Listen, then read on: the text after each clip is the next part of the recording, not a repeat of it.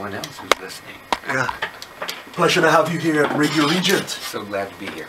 Yes, um, I- I've been I've been so excited to get you in the studio because as a young fella, I used to go to Monica's Records and I see the name Demo Kate. Who who is this gentleman? And, and and for years I've been yeah, you had this mystery. Because seeing your records at uh, um, at Monica Rec- Records, and I said, um, "Wow." When I met Eddie, I said, "We've got to get we got we got to get Demo in the studio here." But um, glad to have you in the cool breeze stratosphere. I'm so happy to be See here. here, I, I, I know you. Uh, before we get in the meat of things, what's a, a day outside of music like for you?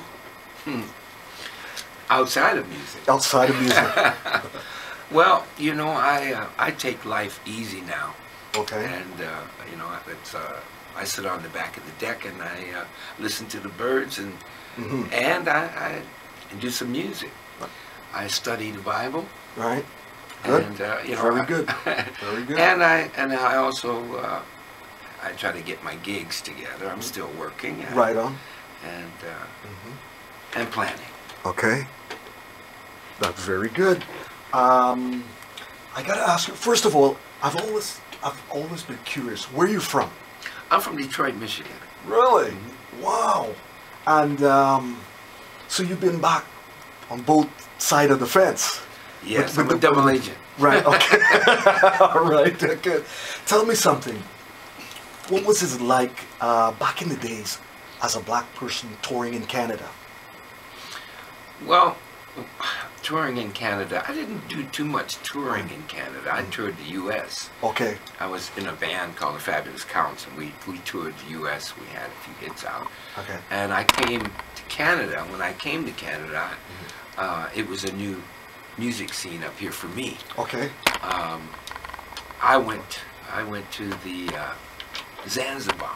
Oh, I remember that in Yonge Street. Oh, okay. And that's where all the mus- musicians were because they had live bands all day long. Okay. They had go-go dancers Right. and live bands. Right. So I would go there and I would meet musicians. okay. And from that point on, um, I started getting gigs and Right. um, I worked uh, in Toronto um, on the jazz scene for a while. Right. Uh, when I first came, I actually worked with Lenny Breau. Oh, amazing guitar player. Yeah, yes, he was something else. I had just come to, uh, from from Detroit, Okay. and uh, and uh, I met a saxophone player here named Glenn McDonald, Glenn McDonald. and he he's uh, passed away now several years ago. Right. But he befriended me, Mhm. and he was working with Lenny at the time. They were Right. good friends, and Right. he invited me to come. Mhm. And I think the, the bass player was uh, Michel Donato, if any Canadians know that name. Mhm.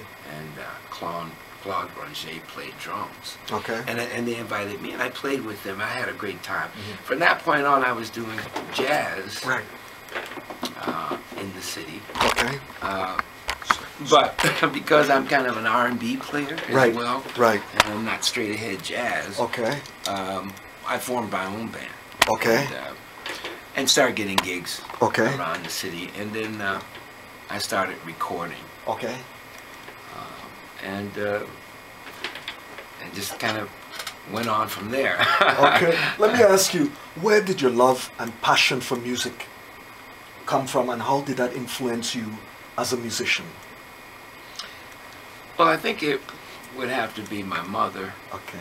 going. You know, she was she's a singer, but Okay. not a professional singer. She sings in church, Right. so she would drag me along, and I. I'd be in church and I'd listen to the music. But I always uh, seemed to be able to pick up melodies. And I remember strings, violins, Yeah. emotional music Yes. always made me. Sometimes I would cry if I heard Mhm. some sad music, Mhm. and, and, and it affected me that way. Yeah. Even when I was a kid, and I used to make up melodies. Uh, my mother bought me a saxophone. Okay. Uh, she was a- single mother at, at the time. It was just her and I. Okay. Uh, she bought me a saxophone, and um, I took it and it took to it like a bird to water. And Wow, I, I mean, wow. like a, a bird to the air. Yeah.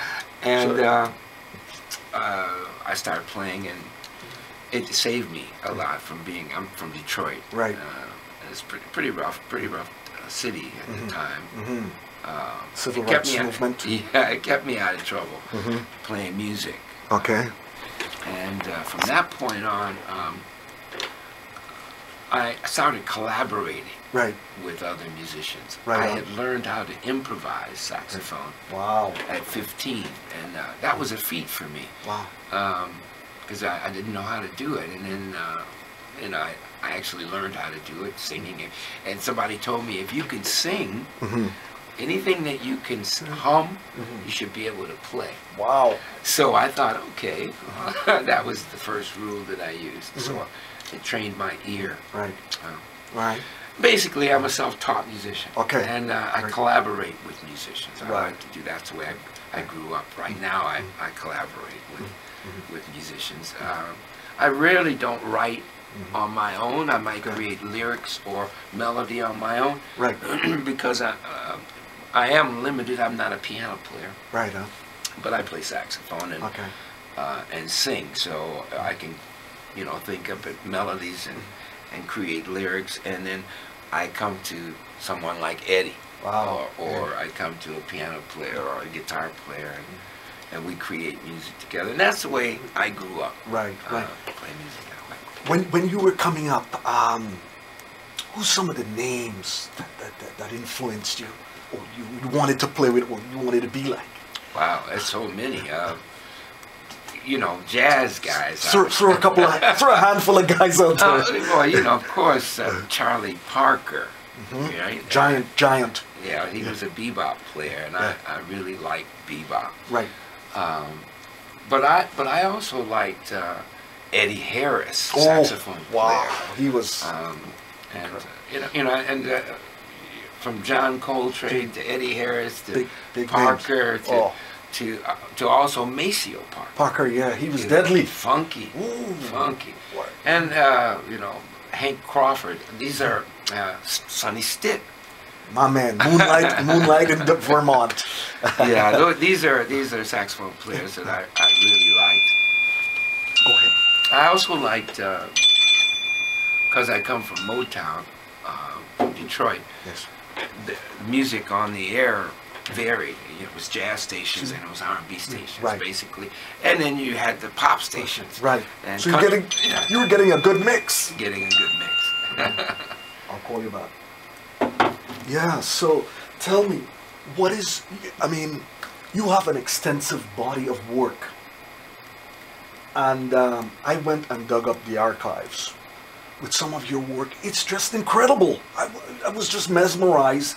I said, I have it on my laptop. We played some of it. You were even you were even blown away by your own body of work. Some of it I couldn't Some of you, and um, it's just the music is, is just incredible. And I and I told you, I said, Mr. Demo, Kate, for the people who don't know you, they gonna find out. and they're gonna find out the Cool Breeze way on the Koolbreeze Experience show. And your new stuff with the Cates Foreman project, um, that, that is just incredible stuff. And people, you need to get some of that work. Where where can you purchase some of your music? Well, uh, you can CD Baby, Yeah. you know, a Reverb Nation, these, these Right, online okay, things. Because okay. um, I was creating, we were creating CDs, and I just found it so hard to, to market myself. And that's Right, the truth, to, right, to market and promote right. Uh, being independent. Right. So we create a lot of music, Mm-hmm. and then now we put it online. I was trying to sell it online, Right. trying to promote it online, Okay.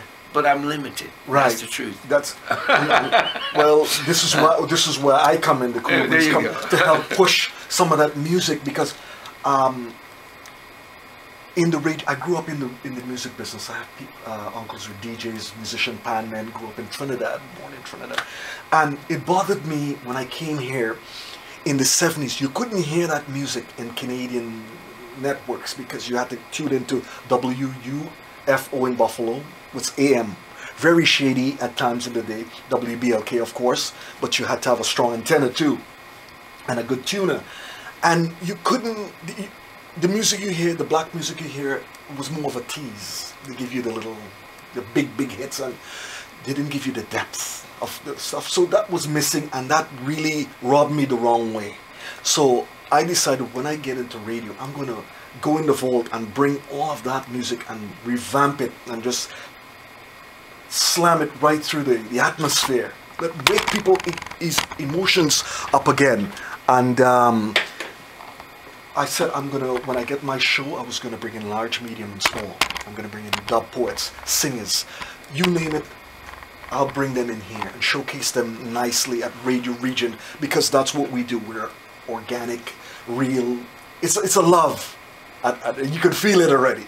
It's a love in the station, and um, there's other broadcasters on this bandwidth. DVD from three to five. She brings that soul and that funky groove, that jazzy stuff. The cool breeze through every kitchen, every piece of utensil from the kitchen sink at his audience, and um, I'm, I'm so honored and thrilled just having you in the studio today. I, I know you have things to do, but uh, we're going to grind out a little bit. Tell me something. What is your definition? Success. What of? Well, my definition might be different from. That's fine. And, We- it, and my and, we and it's changed. Right. It's changed over the years. Okay. But you know, musical success for me Uh-huh. is to be able to write, Mhm. to produce, Right. you know, to create the music, Right. um, and to make it available. Basically, that's it. Okay. If I could make a living doing that, Yeah. it'd be great. Right. Uh, be- because the record industry, the recording in- industry has changed Mhm. so much, and and I'll, I've always always been running after it. Right. Really, that's Right. the way it's always been. It's like, Demo, your music uh, is not jazz. It's not really R and B. It, it, it's kind of a mixture. We, we don't know where to put your music, and that's the kind of thing Mm-hmm. that I that I've been going through. So basically, we write, we Mm-hmm. produce, we put out our music, and right now, Mm-hmm. at this time, people can download all of our music free. Wow. That's incredible. There's about 40 songs up there now that, that they can have free if they like it. And, and if I see where people are downloading it Mm. and, and liking it, then we'll create more. Right. And then maybe we'll do live broadcasts, concerts, or something like that. Absolutely. You know, because it's changed. Per diem has changed. Right. I mean, I mean, the whole, Everything. Yeah. yeah. I'm wondering, is there a time when you and your instrument are alone? And um, tell us about that intimacy.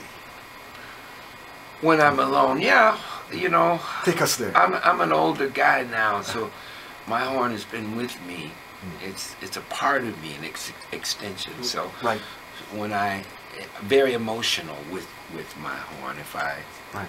if I'm happy, I play. If I'm sad, I play. Okay. Uh, sometimes, uh, you know, what can I say? It's an extension of me, and I feel great every time I pick it up. Okay. Sometimes, sometimes I, I, uh, it's getting where I'm, I'm lazy. You know, Okay. that's the truth. But it's still in the blood. it's still in the blood. I don't practice as much as I used to. Right. You know, I have some limitations now. Right. But I do have to practice Right. because of those limitations. Okay. Tell me, uh, Mr. Demo, how does a musician monetize the digital beast in a manner where the artist gets paid fairly? That's a question I'm still searching for the answer. I mean, I really don't know. I mean, um, it's it's hard to say. Uh, that's what we're talking about, monetizing my music uh, or anyone's music, and uh, you know, it, it all has to do with promotion. Right. It takes takes a little bit of money to to promote. Right. Uh, and since the business has changed, um, there are a lot of people offering you ways to uh, offering um, independent musicians Okay. a lot of ways to promote their music. Right, You know, right. uh, with different ways, and and so, uh, you know, trying to find which one is going to be the best. Yes. you know, Right. so you actually need a team if you can't do it yourself, So, right. You know, because you have Yes. to have someone to do Networking, your marketing, net mark, The know. radio play. That's right. This, that, what. The- the- wow. but it's but it's Facebook, it's Twitter, Yes. it's you know all the social media. Websites, uh, blog websites, spots, Google Plus. Wow. So uh, right now, I guess a musician or a band has to get their own fans. Right. If they get their own fans, You got something to work with. feed their fans things that they want, Mhm. and uh, and, Wow. and build it up that way. Wow, wow. What comes first as an artist? Creativity or commercialism? Well, it's growth comes. I like that. So That's you know, and because that was with maturity, you know. Yeah, right.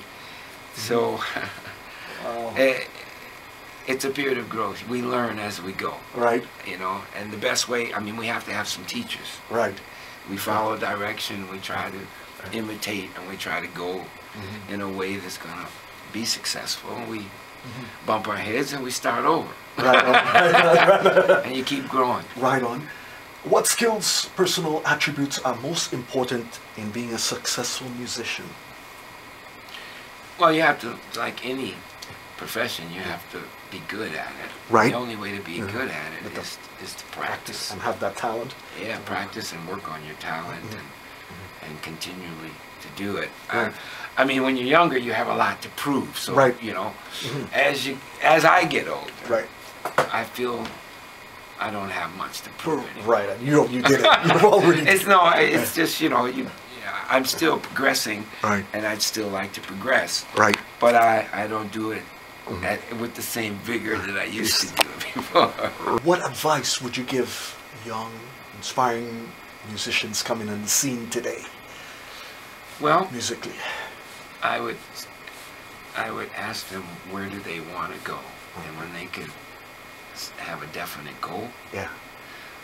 then I tell them to pursue it. Yeah. And the only way they could do it is to work. It takes effort. Right. So they have to practice. Right. They have to learn, Mm-hmm. uh, listen. Mm-hmm. And everybody needs to listen. You know, everybody has something to say, Right. but every everybody needs to listen. Right, you know, right. and- Uh, uh, before before I forget, I have to point this out. This is critical. A lot of people don't know, and I heard this from a musician that came on my show a month ago, that Mr. Demo Cates was instrumental in forming that Caribbean jazzy sound. This this is from a prominent musician now. Mr. Demo Cates is instrumental in forming that Caribbean groove, that jazzy mix in Toronto. Yeah. That's interesting. Yeah. All I can say is that uh, at one point Right. I had several Caribbean producers Right. who who wanted saxophone music Yeah. with uh, with some some Caribbean songs that Yeah. people knew, the R and B kind of songs, Right. old songs. Right. So there was uh, uh, Alfred Abraham was a producer. Uh, there was Monica and Mm-hmm. Oh, George. And there was Yes. another gentleman named Horace Elliott. Har- okay. Um, and um, so with with the Caribbean community Yeah. uh, and producing, having Caribbean producers, they would market Mm-hmm. the music Right. throughout the Caribbean. You- oh, okay. And like the ones that you were playing, Yeah. those are the ones. Yeah. Yeah. So I get, I, you know, I had no idea that it was an influence like that. Yeah. I, I, There I was- was blown away. I was at one time Yeah. uh, a friend of mine, Aubrey Mann. You should have, Yes, yes. You should have Aubrey Right, here. He's yeah. a fantastic We'll, uh, we'll get him singer. in. We'll get him in. a musician, uh, leader of a band. Mhm. But he called me, and he was in New York City, and he says, "Man, I'm your your record is big here in New York, in the in the in the, in the Caribbean community." And Yeah. he, he, it, it was, I think it was uh, the Stealing Love Yeah. at the time. Oh, killer track. But I had I had no idea. I had no idea. You know, and this this is uh, coming from heavyweights in the music industry, and I go, I go, I gotta pull that up. I gotta. So this is um. Tell tell us where you're playing next. Well, okay, we're uh, my partner, musical partner, Stan Foman, Right. uh, from Cates Foman Project. Okay. We work regularly uh, in the Toronto area. Right. We have a, a larger band, but we also have a duo, trio. Right. So we work um, basically in Italian restaurants. Right. And uh, we do concerts Mm-hmm. around. So my next gig is actually July 30th and 31st Mhm. at the Port Credit Lighthouse. Right. So it'll be an outdoor, outdoor concert uh, Oh, okay. near the water there. All right. So, um, any idea? Sorry, the dates for that? For that, it, it'll be July July? 30th, Yes. 31. This coming at the end of this month. because I want I, I'm going to be there and I want my fans to be there as well. Um, when it's all said and done, what impact would you like to leave on the music scene? What impact would I? How would you like to be remembered? With this great body of work you have. Well, you I- know, I, it's hard to say. You know, I, I would like to be remembered as as a person who played music.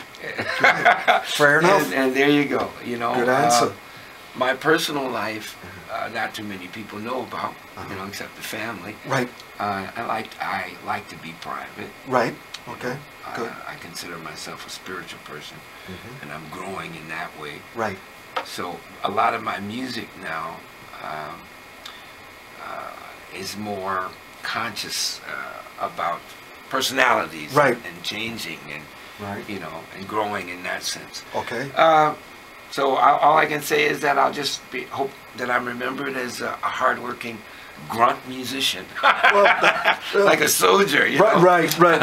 I like I like that answer because uh, it's honest and uh, it's humble, and you, you know you can't you can't get any better than that. Any shout outs you want to give to friends and family out there? Yeah. Well, everyone that uh, that likes my music and has been following me, thank Mhm. you so much. Uh, there's too many people to to mention by name. You mentioned a few of them Yes. on your show, Right on. um, but uh, look out for us. Listen for our music. Download it. It's free right now. So if you can, if you love Smooth Foam and Prada. Yeah, they're, they're, they're wicked. Um, uh, I'd like to see um, thanks for bringing your love to the city and Radio Regent, which manifests in our greatness. And I would love to have you back at the show sometime again. We can really get into some more history and more music and more talk and get Mr. Aubrey Manning with you or something. I, re- really, I would like to bring uh, Stan in one time, and Bring- maybe we can do we can play. We can do uh, you know three or four songs, I'd two or three songs. I'd, lo- I'd love to do it. We're gonna we're gonna talk about that right. and, and set up a, a date and, and we'll jam in the studio and have a great time.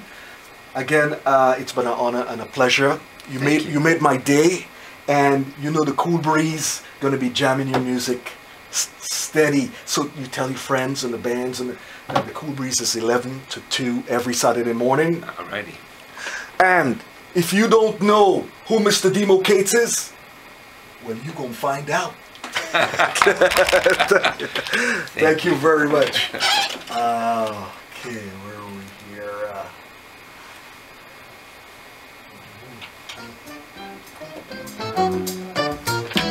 yes. Yeah.